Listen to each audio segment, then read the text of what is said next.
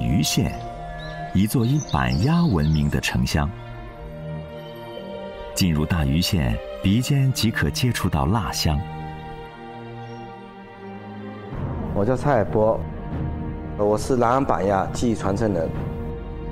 我从小是闻着南安板鸭的香味长大的。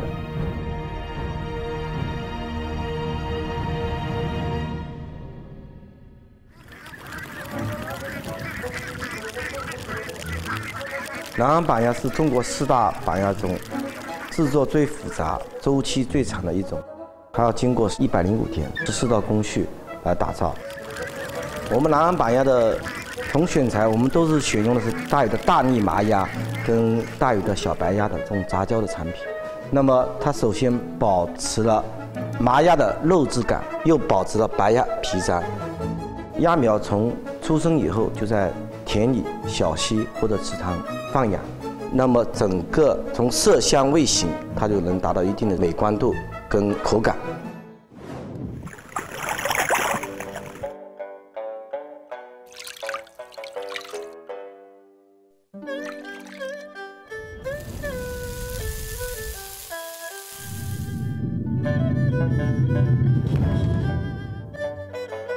食盐在中国人保存食物的过程中发挥着不可替代的作用。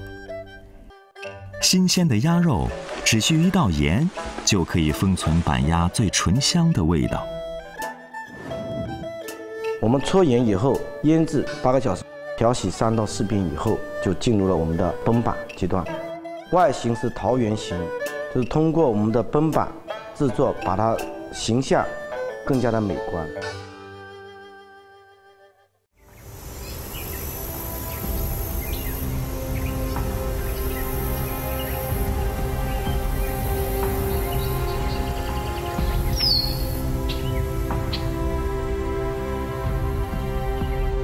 晾晒成为最终决定南安板鸭风味的执掌者。晒家的方式必须坐北朝南，板鸭上午晒表皮面，下午晒底腹面。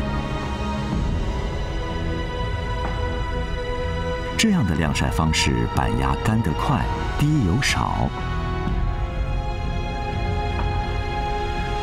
我们大禹得天独厚的气候条件，白天的暴晒和夜晚的霜冻的交错洗礼，它的鸭子的油脂会慢慢的渗出，使外部的皮质香酥，内部骨脆肉嫩。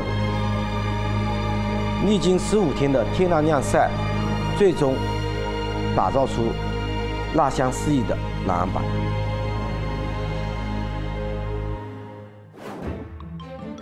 南安板鸭最经典的吃法是清蒸板鸭。板鸭用温水浸泡二十分钟，目的是提取表皮的盐分跟油脂。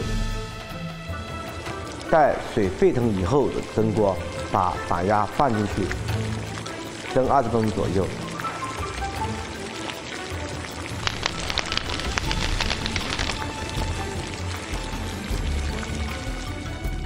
观察板鸭的鸭腿、腿臂是否收缩，收缩以后出锅即可食用。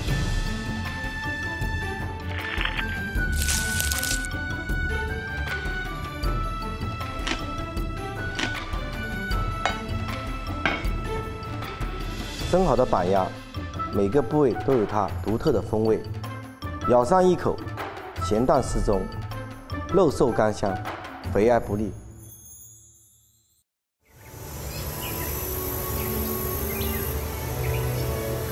南安板呀制作繁琐，周期长。现在年轻人吃不了苦，做这个行业的人越来越少。像我七十年代的，在厂里都属于年轻的员工，所以我很担心技艺的失传。我会一直在坚守这个岗位，从事这个行业，让我们五百年的技艺能得以传承。